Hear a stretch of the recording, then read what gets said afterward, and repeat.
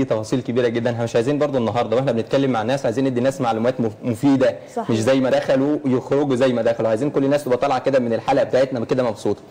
في البداية لما نيجي نتكلم قلت كده في البداية إن السمنة لا هي عامل خطر. لابد إن إحنا ننتبه لهذا الأمر. هي عامل خطر لكل الناس. بيجي لنا ناس كتيرة جدا في العيادات وأغلبهم بتوع مشاكل العظام المختلفة. الناس اللي بتعاني من مشاكل العظام المختلفة سواء كان arthritis أو sprain أو امسكي كده مشكلة مشكلة في العظام كده واجي اسالها سؤال سؤال وجواب متكرر لكل واحد فيهم. آه انت آه ب- بتتابع مع دكتور عظام؟ آه كنت بتابع مع دكتور عظام. قعدت قد إيه؟ ست شهور أو سنة. منهم ست شهور ومنهم سنة. طب آه، عملت إيه؟ أنا خدت حقن موضعيه خدت حاجات كتير علشان آه، عشان مشاكل العظام المختلفة. فالجواب فساعتها أنا بشكل مستمر بقول لهم طب هل الدكتور نصحك إن أنت تنزلي في الوزن؟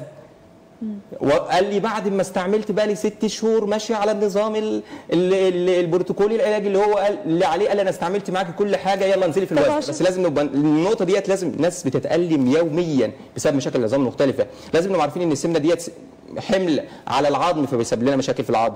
حمل على القلب في سبب لنا مشاكل في القلب. أغلب الناس بلا استثناء لو عندها مشكلة في السمنة السمنة سبب لاكثر من 50 مرض ينتهي بالموت.